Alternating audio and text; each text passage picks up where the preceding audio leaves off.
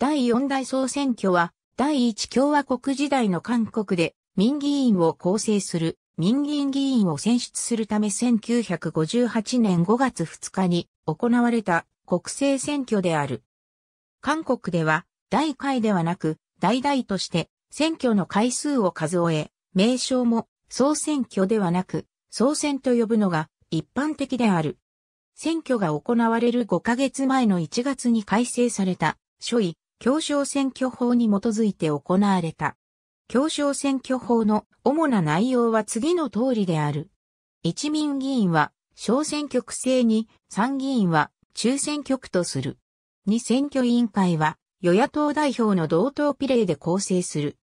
三立候補供託金制を実施し、候補者乱立を抑制するために有効投票の6分の1を獲得できなかった候補は供託金を没収する。4選挙運動と選挙費用を抑制する選挙公営制を採用。5選挙期間中の変更報道を規制。総選挙の2年前に行われた1956年5月の大統領選挙では、副大統領に野党民主党の超務候補が当選する事態となっていた。しかし、大統領の継承権の2番目は副大統領のため、与党自由党としては、野党が副大統領を握っていることは我慢ならないことであった。そのため、自由党は国会で憲法改正に必要な3分の2の議席を確保し、憲法改正を行って大統領継承権を削除するため、第4代総選挙では様々な不正選挙が横行することになった。自由党候補を無投票当選させるために、野党候補の登録を徹底的に妨害。その結果自由党の無投票当選者は9名にも達した。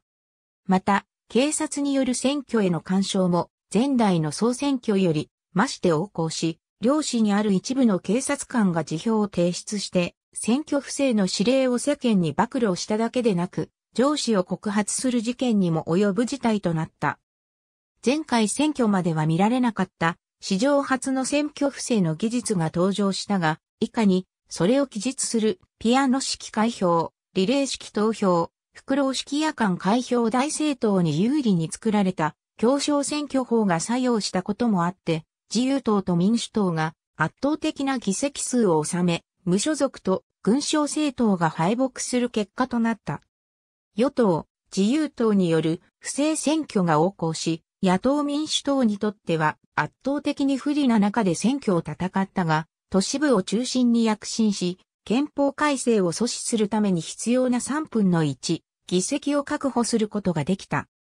ソウル市は当時は16の選挙区があったが、自由党が獲得した議席は、西大門をつくの最慶南のみで、東大門区の与党系無所属のビン広市職を除いた残りの14選挙区はすべて野党、民主党が占めた。